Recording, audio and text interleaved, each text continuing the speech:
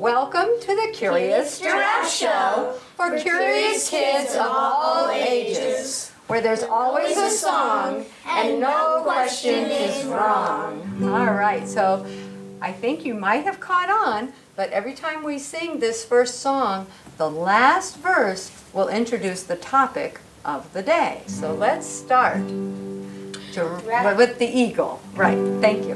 Here we go. Giraffe looked over at Eagle and said, Why was I born to walk? Why were you born to fly? Eagle just shrugged and gave a high five. Yeah, we all share one big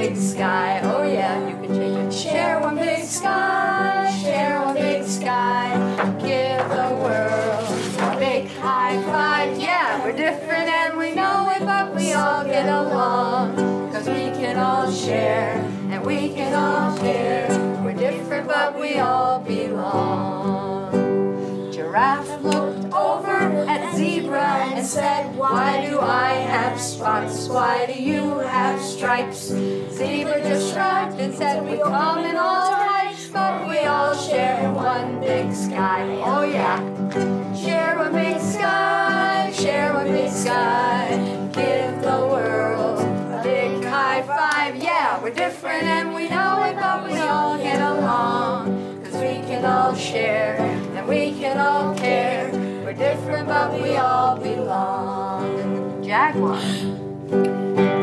Giraffe looked over at Jaguar and said, Why am I so tall? Why are you so fast? Jaguar just shrugged and said, It's all a blast, and we all share one big sky. Oh yeah,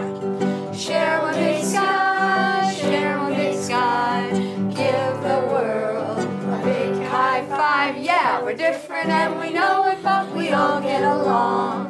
Cause we can all share and we can all care. We're different, but we all belong. Giraffe looked over at Turtle and said, Why do I live in the open? Why do you live in a shell?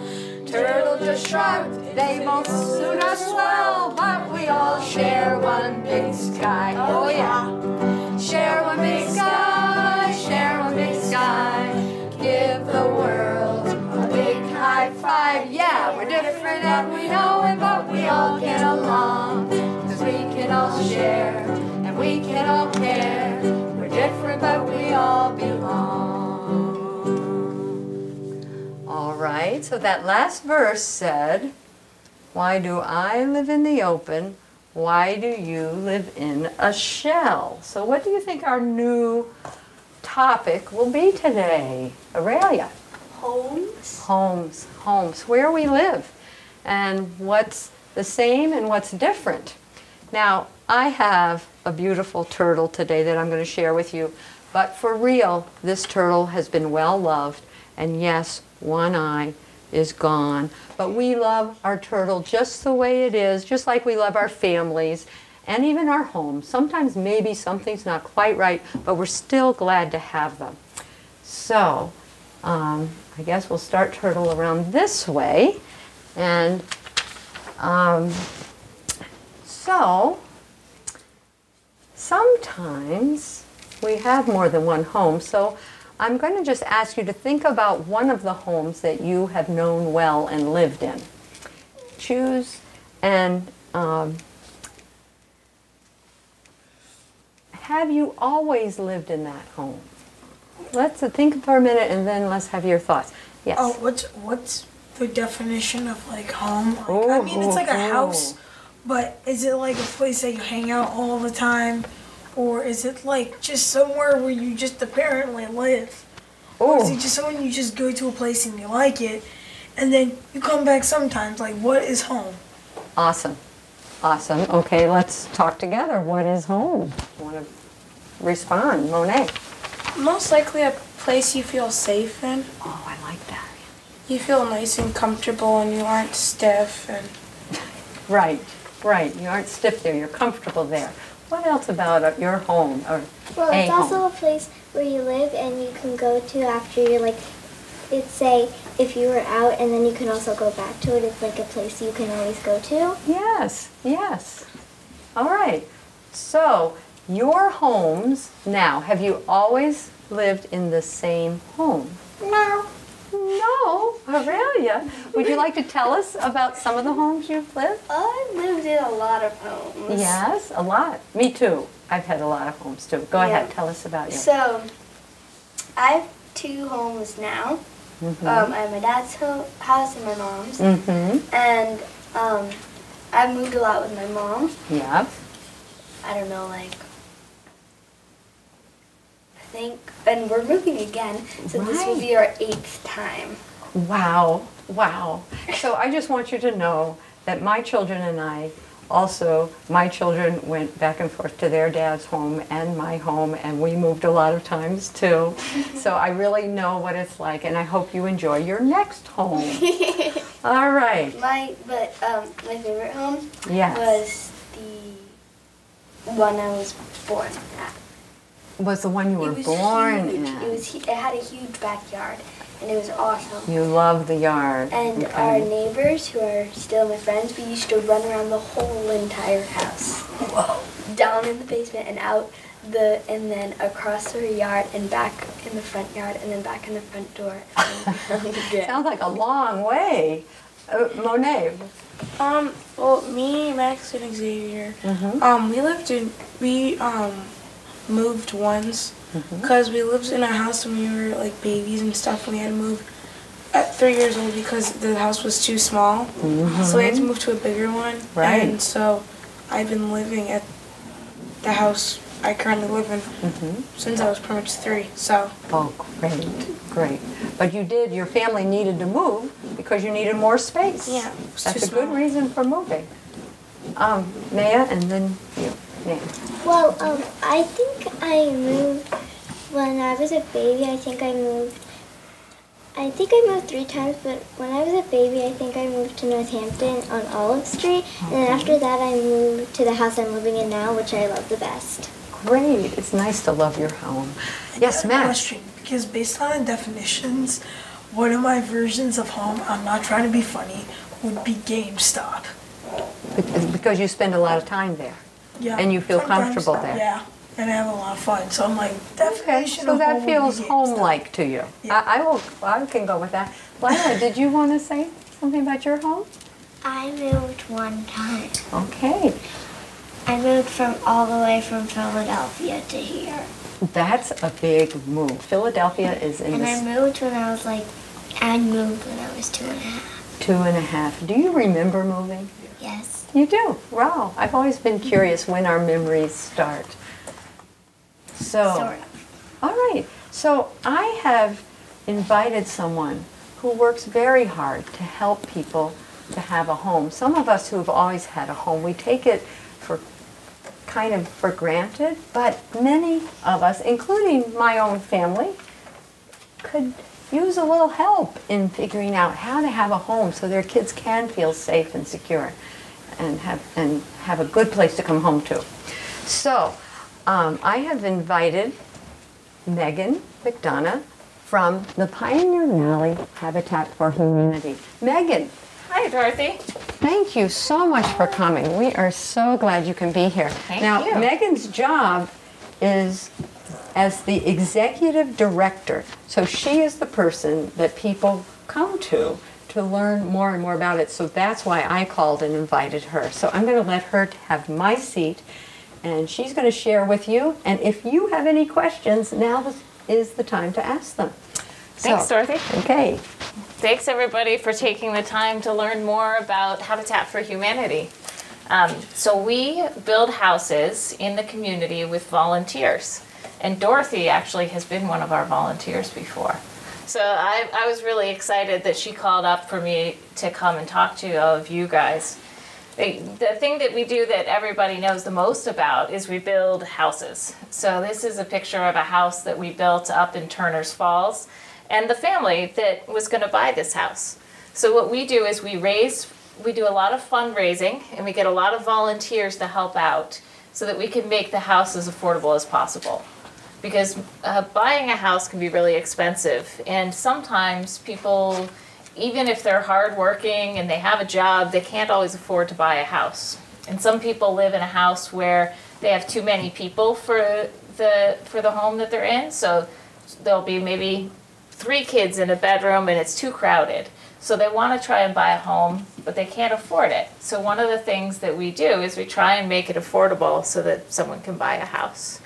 But we couldn't do it without the community, without a bunch of people volunteering. Do you have a question? Yeah, what type of houses do you build? So we build uh, mostly new houses. And this is a picture of a house that we're going to be building in Amherst. So um, next year, we're going to start building these. This is going to be two homes that are attached down the middle, so it's called a duplex. Um, they're all framed with wood, so we get volunteers with hammers and nails, and then we insulate them really well so that people will have low electric bills and heating bills. Yes? How do you get a picture of the house before you actually build it? Well, that is pretty cool, isn't it? So there is an architect here in Amherst that used a computer program to make this as a. So he drew this in a computer. Do you guys like? I don't want to sound mean or stingy, but do you guys destroy land to build the houses? So we always look for places to build houses that uh, will be good places for homes. So we wouldn't want to build a house where there was habitat for an animal, or we wouldn't want to build a house on some place that was going to take away farmland. Um, we're building this house right here at a place called uh, Hawthorne Farm, but there was an old house here that got torn down. So we're building this new one exactly on the spot where the old house was. So we're not taking away any extra land.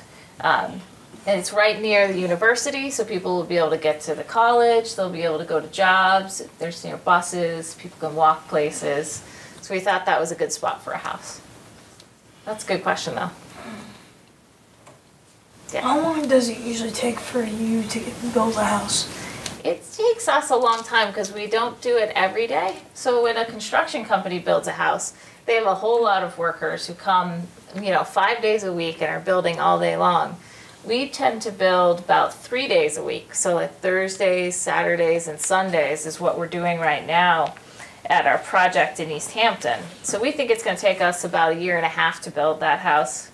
This is a picture of some of the volunteers that are building a house right now in Easthampton. Um, and you'll notice that there's a bunch, a lot of women in this picture, which is one thing that we try and promote as well, is because uh, there's not as many women who usually do construction, but we think that uh, women should have an opportunity to learn and build as well. So we got uh, most of the people doing the construction on this house are women. Just uh, last week, we had this many people there, all installing the insulation. So we had about 50 people helping out then one day. Um, about like, do you need any specific skill to volunteer to help construct the house? So you have to be at least 16 years old to help construct the house because there's labor laws that say children aren't supposed to do dangerous things like construction work and uh, but there aren't any specific skills. We always look for people who have lots of good skills to lead the crews, but then we take people who are unskilled so that they can learn more. We, when you guys are in high school, um, we also work with the technical high schools. So the Smith Vocational Technical School, which is over in Northampton, they're doing all the plumbing for this house. So those kids are going to be helping to build the homes. Yeah. Do you have another? You look like you might have a question. Right. All right. Well, if you do, Oh yes, I do. Um, I forgot it for like two seconds. no Um, problem. what do you do to volunteer? Like, what what do people do when they are volunteering? Well, that's a good question. So, what we ask everyone who wants to volunteer is that they go to an orientation, and they, you can sign up on their our website. And I think that when this show is being produced, they'll put the website up there so everybody who's watching can go to the website. And at the orientation, we tell people how to sign up. so volunteers come and like on this day, they went to the construction site and helped insulate, put the insulation inside the house. But we also have volunteers who do things that aren't at the construction site. We have volunteers who help us raise money. We have volunteers who help us plan for our next project. We have volunteers who help uh, the new homeowners learn how to uh, be a homeowner. So there's a lot of different things people can do. Um, how do you raise money though? What Okay. do people do to raise money?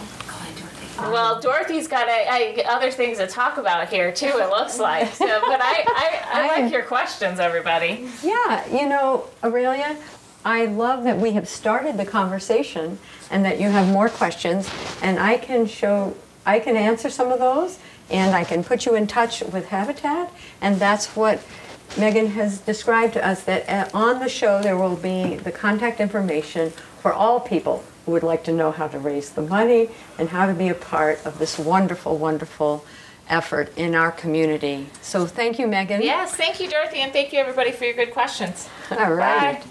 So, Aurelia, I'm delighted that your mind is going now. That's what's curious. The curious giraffe, and now a curious turtle, are curious Georgia and curious George. Oh, I didn't realize we created a curious George. Okay.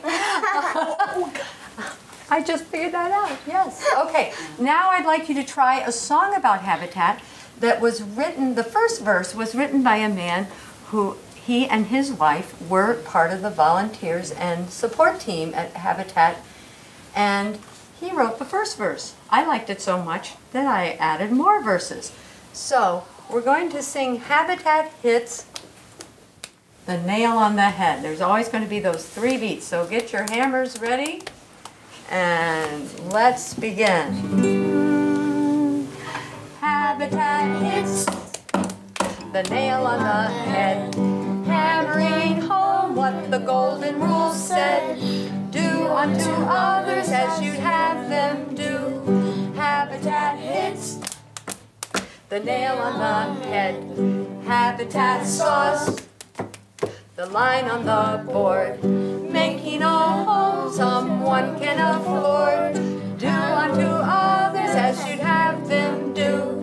Habitat sauce, the line on the board, habitat builds the walls all around, making them strong and making them sound.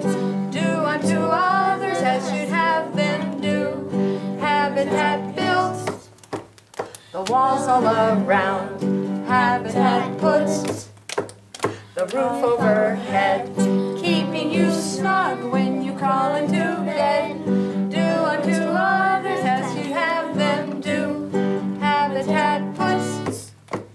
A roof overhead. Habitat helps you build your own home. And when you're done, it's a home that you own. Do unto others as you'd have them do. Habitat hits. You build your own home. Thank you. Thank you. That was um, says a lot, but it, it sings my joy of knowing how neighbors can help neighbors in all kinds of ways.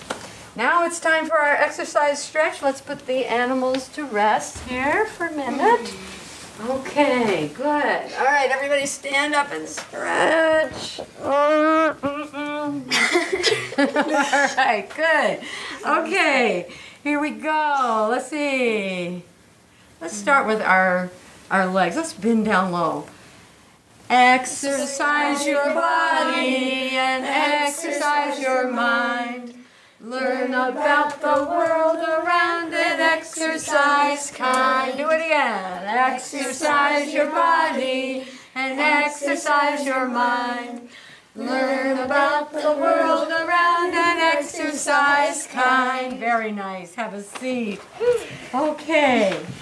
Now, today's mystery box has a story in it, as usual, but it's a little bit different. It's a story that grows. How many of you have ever heard the story, The House That Jack Built? No? when I was growing up, that was in, um, but we're gonna do the house that Habitat built. And we're gonna create the story together. So, I'm gonna just start with, oh, I have to, do one more page to help. Okay, I'm going to ask when I hand you part of the story, if you hold it so that it can be seen, okay? And just hold it still and you'll know what to do with it, okay? Ready? This is the house that Habitat built, and you all say it after me. This is the house that Habitat built. This is the mother who worked on her house that Habitat built. Ready? This is the mother who worked on the house that Habitat built, and this is the house that Habitat built. Hold it up there so it's easy to see. Okay? Ready? This is the team who supported the mother. Everybody? This is the team who supported the mother. This is the mother who worked on the house. This is the house that Habitat built. All right, good. All right. And it's interesting, we had a question about the land. This is the land that was given to the team who supported the mother who worked on the house that Habitat built. All right, good. Now, I was thinking lumber, and I was thinking this could be like the, the kitchen or nails, lumber and nails, great. These are the materials that were brought to the land, the land that was given to the team to, the, who supported the mother who built the house that Habitat built. Okay, this is harder than I thought, but we're doing all right. Okay. Now, these are the businesses. These are different businesses, business names in our Pioneer Valley. Okay? These are the businesses who supplied the materials that were brought to the land that was given to the team who supported the mother who worked on her house, the house that Habitat built. okay. And who are we up to? Okay, we'll come back this way. All right. These are the volunteers who worked with the materials. Oh, wait. Yeah, that the businesses supplied. How did I do that? These are the volunteers. That the That's okay. Grown-ups make mistakes too. That's one of my best things as a teacher is saying it's okay to make mistakes. These, uh, did you figure it out, Maya? How I should it kind go? of just a little. Okay, go ahead. These are the volunteers. Tears that. Uh, no, I keep That, forgetting. that, Oh, that maybe the you. businesses that the businesses support Okay. And that no. All right, I'm going to go a little quicker now. Okay, so, hmm, okay, these are the volunteers that were glad for the businesses who gave the materials for the land and that the team used to support the mother who worked on the house that Habitat built. Okay, and this is the, I'm going to do the last few, I'll just hold them. Okay, I'll do the extras. You guys hold yours clearly. Okay, this is the contractor who trained the volunteers who you, who were glad for the businesses that contributed the materials for the land, for- and the team who supported the mother who worked on the house that Habitat built. Okay. And these are the donations that helped the contractor to ask the businesses for the materials to bring to the land to give, oh, this is hard. I hope the kids at home can follow this. All right. This is The the donations. The donations that the contractor used to train Train the volunteers, to thank the businesses who provided the materials for the land, for the, and the team who supported the mother who built the house that Habitat built. And the very last part of the story is these are the kids who get to live in the house that Habitat built. All right. Wow. What's we the have giraffe just pen in there? the that's for Dorothy to write any new ideas with. That's actually can Right go with our hand. other giraffe friends. Are we gonna Okay. put everything together on the land? Let's do it on the land. Go ahead, put the things together. Alright, so okay, so this is Should be right there. No. All right, there you go. Put the house I there. want to put the house. I want to Okay. put it right here. All right, so we're going to have to finish up, but a house becomes a home when there's love there. So everybody sit back, please, once you put your pieces there. And we're going to have our last song. Then we should go buy the house. Don't let the money drop the kid. The money's important. Okay, it's all important. Every piece of that is important. Very nice. So once there's a house, it becomes a home when the family moves in and the love is there. So let's sing this last song. It's almost like tucking this new family into their home. Ready? Home is where the heart is, where I lay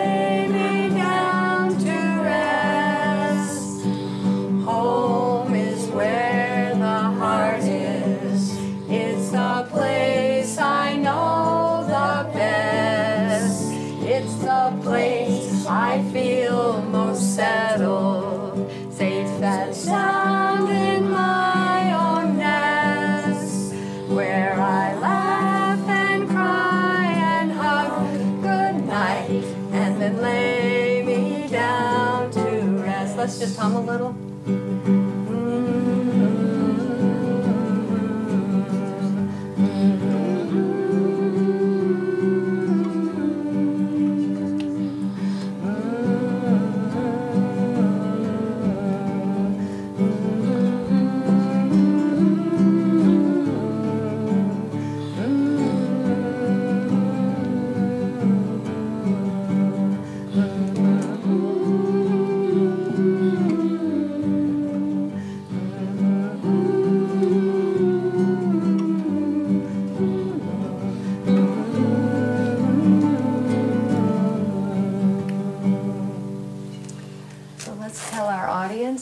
Thank you for joining us today and considering all the curious things there are to learn about our own homes and about other homes.